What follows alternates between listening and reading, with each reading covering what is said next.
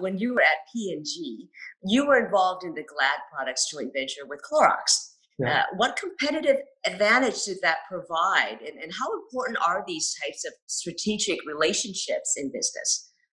Yeah, it's been a joint venture that's now been in existence for almost 18 years, which is amazing. And we're oh, two, competitive. a long time. Yeah, very much so. And we're two competitors, you know, which makes it even more remarkable. Uh, but we work together on this. It's pretty basic, you know. First of all, there's a strong cultural fit between those two companies, and um, the the the um, what each party brought to this was complementary. So at Clorox, we uh, had um, a brand name and a business and manufacturing assets and customer relationships.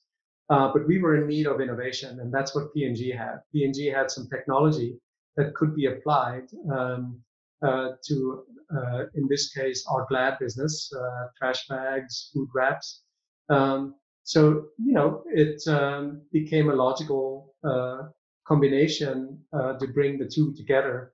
Um, you know, today innovation is everything in our business.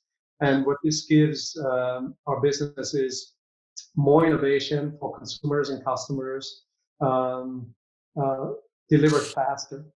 Uh, I think that in today's world, it's fast company beating small companies and not um, big companies, uh, fast companies beating slow companies, not uh, big companies beating small companies.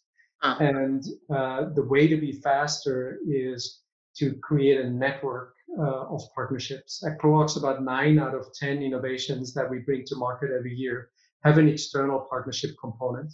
Gives us access to more ideas, and we're able to bring more innovation to market, better ideas, bigger ideas to market than our competitors. That's really what it is about. Uh, and in many ways, the, the old way of working, where everything happens in an ivory tower, is long gone. Uh, it's about networks. It's about open innovation. It's about coming together um, with companies big and small